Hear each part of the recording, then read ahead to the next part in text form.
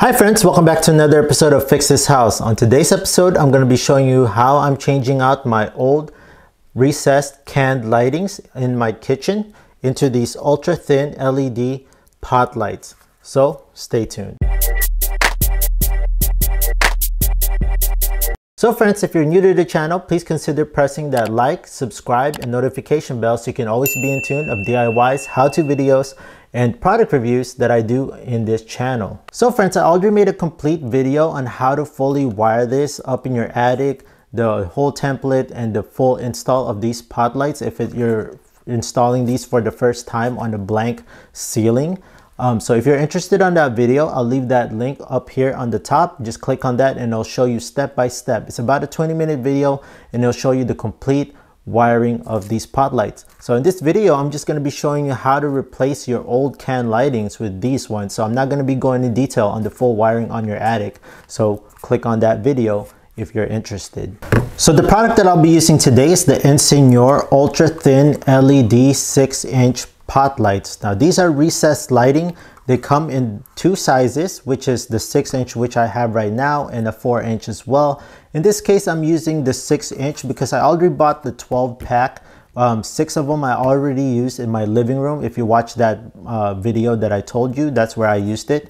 But um, this one, I'm just only going to be using two of them. I highly suggest that you buy them in bulk, which will save you a lot more money rather than buying them here little by little here or there. Every tool, every uh, product that I use on this video, I'll leave it in the description down below so I'll make it easier for you to find this product and all the tools that I use throughout this whole video. Now these are 5K, which means that um, the brightness is about daylight color. Now they come in various colors as well. It's totally up to you whether you want it into a yellowish tint to a white, whiter tint, just like this one, which is 5K. So this is what I chose. These are actually also energy saver and they're 1050 lumens, which is pretty bright. So one of these can pretty much light up a whole room just by itself alone. In this case, I'm going to be using two of them in this sink area of my kitchen.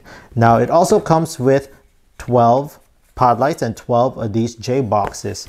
Now these J box connector already have all the necessary wiring and connectors that you need. Comes with the ground, the hot black, and the neutral white.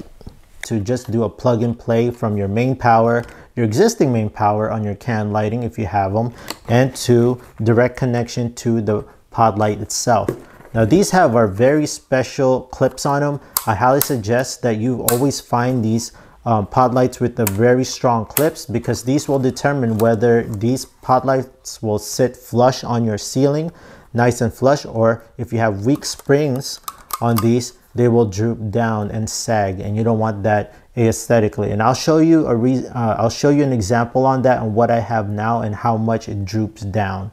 Okay friends, so if you have any questions, just leave it in the description down below. With that being said, let's get installing. Here's a good example of how one of the can lightings that I have on my kitchen sits. As you can tell, it is drooping down because these have very weak um, clips on them. Um, that's why over time it sags like this. Now I already have this side taking out right here. That was the side I was showing you earlier. See how it droops down.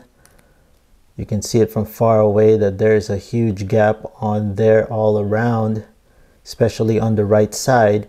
And this is what it looks like underneath. And there you have it. You have the can inside.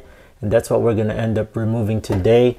And these are the clips that I was telling you that are ultra weak. That's why they don't clip really well on the can, the, the can itself. That's why it droops down. This is actually a replacement one that I just screwed into the light bulb socket. I already measured the size of this pot light from the back. Again, you're not gonna measure here. This is not where you measure. You actually measure from where it sits at the back. Now from end to end is a good point from the end of this edge where the spring is to the other edge of the spring.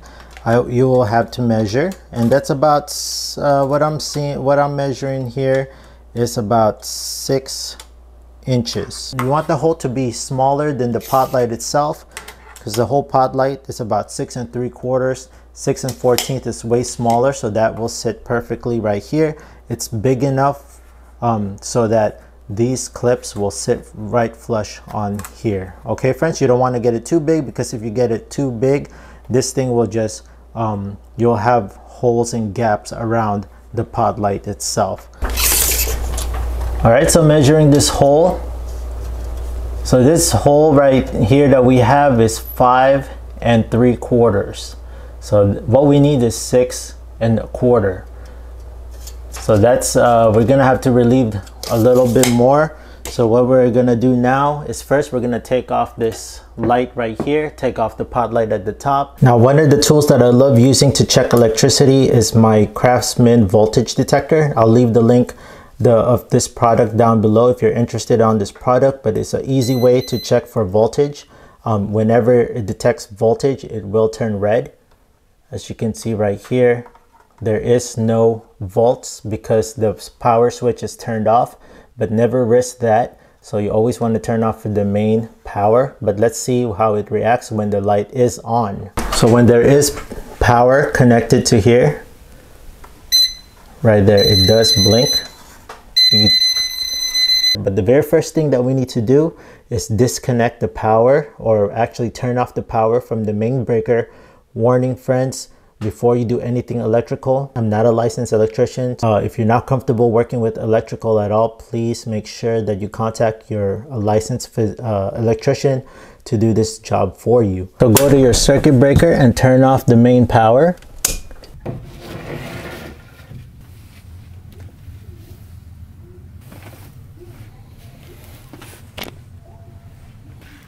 So what I did here is I just disconnected the main source from the rail. Got one down. Now the electrical connection is inside this box in here. So what you're gonna do is just gonna pull that off, pop that little latch right there and it should open right up.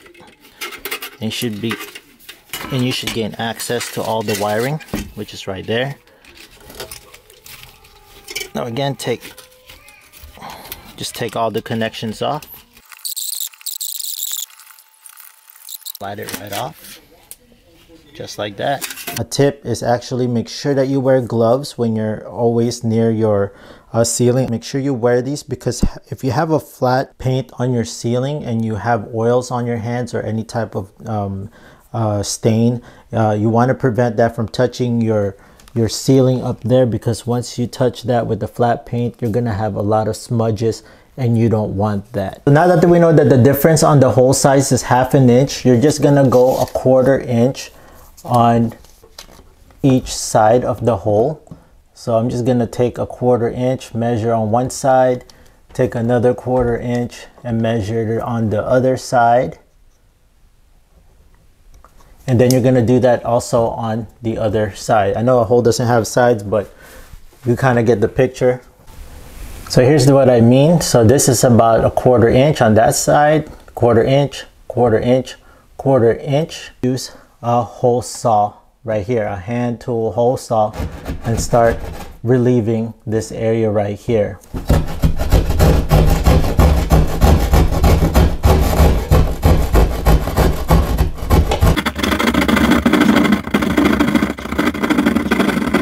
Should measure six and a quarter, perfect.